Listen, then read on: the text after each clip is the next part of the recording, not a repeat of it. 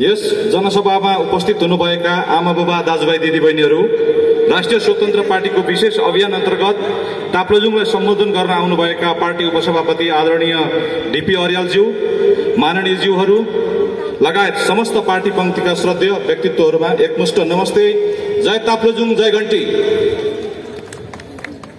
झण्डै तिन सय उन्नाइस वर्ष अघि जन्मिएका मान साहित्यकार तथा लिम्बू भाषा र लिपिका ठुलो योगदानदाता तेङसी श्रीजङ्गा सिंह थेबेको जन्मभूमि ताप्लेजुङ एक हिमाली जिल्ला हो।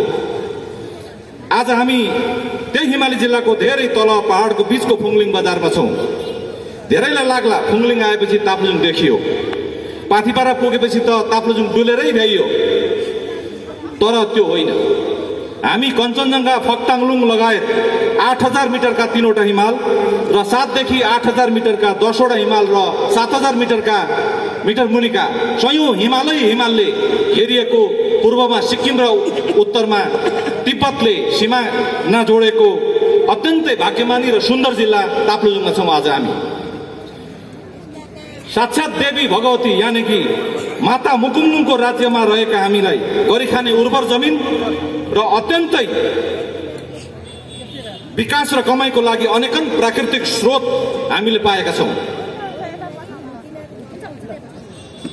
अत्यन्तै सुन्दर सिन्जेमा ताल टिपताल तिम्बुङ पोखरी र तालै तालको मिक्वा खोला गाउँपालिका फुङफुङे झरना ढङढङ्गे झरना र करिब दुई हजार मिटर दुई हजार मेगावाट अधिक उत्पादन क्षमता बोकेका ठुला ठुला नदीले भरिभराउ मेरो जन्म गाउँ ताप्लेजुङ विश्वको कुनै उत्कृष्ट जिल्लाभन्दा केमा कम चल्छ प्राकृतिक स्रोत साधन र सुन्दरतामा हामी संसारकै उत्कृष्ट जिल्लामा छौँ तपाईँहरू सबैलाई थाहा छ ताप्लेजुङको अहिले कुल विकास बजेट करिब सत्तरी करोड मात्रै छ। तर ताप्लेजुङको दुई हजार मेगावाट विद्युत अहिले हामी उत्पादन गर्न सकेको भएदेखि त्यसबाट पहिलो पन्ध्र वर्षमा प्रत्येक वर्ष हामीलाई सय सय करोडको दरले चाहिँ हामीले रोयल्टी पाउँथ्यौँ। ताप्लेजुङले त्यो सय सय करोड पाउँथ्यो। त्यो भनेको अहिलेको कुल हामीले पाउने विकास बजेटभन्दा तिस करोड अधिक हुन्थ्यो।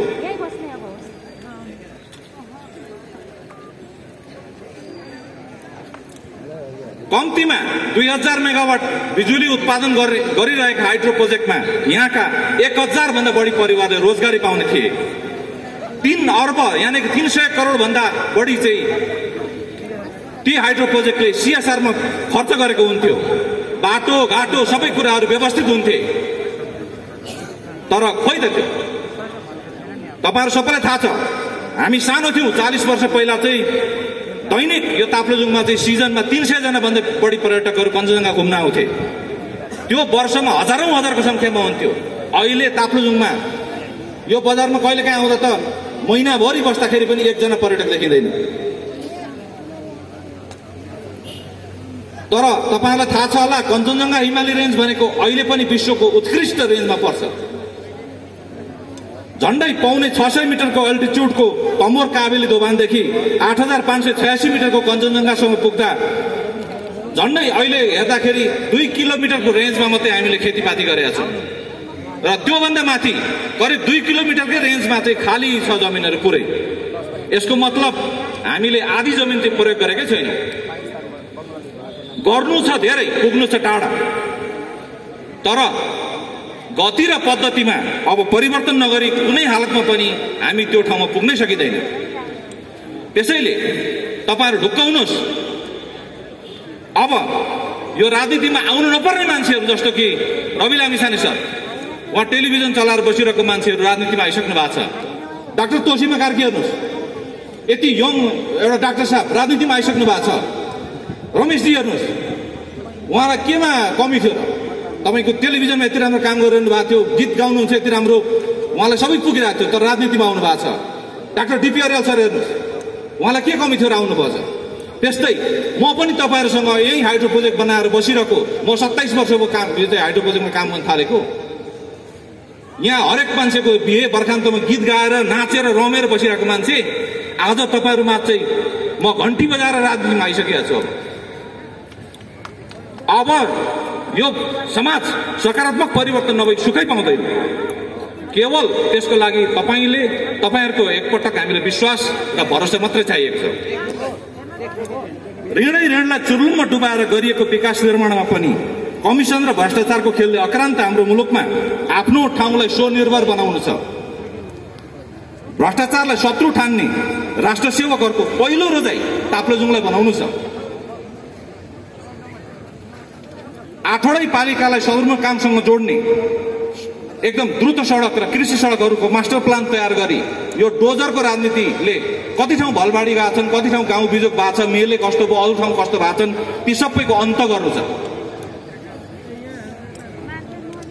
र यो न्यून बिडिङ प्रणालीबाट भन्नाले एक करोडमा ठेक्का लाग्छ पैँतिस चालिस लाख पचास लाखमा चाहिँ बिडिङ गरेर ठेक्का लिन्छन् कामै गर्दैन उपभोक्ताले युजै गर्न पाउँदैन। हो यस्ता चिजको चाहिँ पुरै अन्त्य गर्नु छ हेर्नुहोस्। यसलाई ब्ल्याकलिस्ट पार्नु छ। बानन्दीबाट दोबान जाने सडक हेर्नुहोस् अहिले गाडी होइन? भ्यागुतो कुद्ने भ्यागुतो चाहिँ त्यहाँ नाचिरहेको छ अहिले। पाथिबाट जाने सडक हेर्नुहोस्। सबै कालो पत्र हुनु पर्थ्यो त्यो भइरहेको छैन। त्यहाँ चाहिँ यात्रा कष्टकर मात्रै होइन एकदम असुरक्षित भइरहेको छ। मान्छेहरू कति बेर मरिने हो कि गाडी कता पल्टेर जाने हो कि यसको उत्तरदायित्व को हुन्छ त? जिम्मेवारी को हो त? सधैँ यस्ता मान्छेहरूलाई पूजा गरेर यस्ता ठेकदारहरूलाई पूजा गरेर नमस्कार गरेर हामीले बसिराख्नु पर्छ ताप्लेजुङले जहिले पनि। तर यो ताप्लेजुङको मात्रै प्रवृत्ति यो चाहिँ समस्या होइन आम मुलुकभरिको समस्या चाहिँ यो प्रवृत्ति नै हटाउनु पर्ने स्थिति छ। गाउँका वृद्ध वृद्ध अशक्त र आर्थिक अवस्था कमजोर भएकाहरूका बुझाइको र कम बुझाइको कमीले स्वास्थ्यको गम्भीरतामा हेक्का हेक्का पनि राख्न नसक्ने मान्छेहरूको हाम्रो गाउँमा उचित स्वास्थ्यको प्रबन्ध र समय सीमामा परीक्षण गर्न नगरेर धेरै ठुलो ठुलो समस्याहरू बेहोरिरहेको अवस्थालाई पूर्ण सुधार गर्नु छ शिक्षाको अवस्था खुम्चिएकै कारण हाम्रो समाजमा व्यतिथिले राज गर्ने अवसर पाएको। आज भानु स्कुल किन नमुना स्कुल बन्यो र केही स्कुलमा प्रगति होइन किन उदोगतिमा गइरहेछ? यसको निर्मम समीक्षा हुनैपर्छ। छोराछोरी हाम्रा भविष्य हुन्। उनीहरूमाथिको यो खेलबाट बन्द हुनुपर्छ।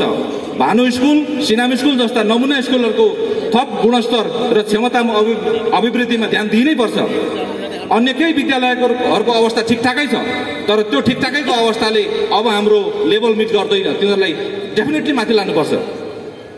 र केही विद्यालयहरू साँच्चै अर्थमा भन्ने भएदेखि एकदमै बेहालत अवस्थामा छन्। तिनीहरूलाई नर निर्मम समीक्षा गरेर सुधारका ठोस कदम चाल्नै पर्छ अबदेखि। शिक्षा स्वास्थ्य भनेको सबैको बराबर अधिकार हो। आर्थिक सम्भ्रान्तका सम्भ्रान्त र विपन्नका दर्शनताले पढ्न पाउने अधिकार बराबर हुनै पर्दछ।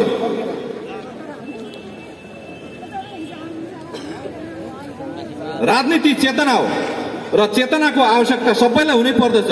तर चेतनाको लागि दलगत दासत्व होइन पद्धतिको आवश्यकता पर्दछ। कोही कसैले यो विषयमा राष्ट्रिय स्वतन्त्र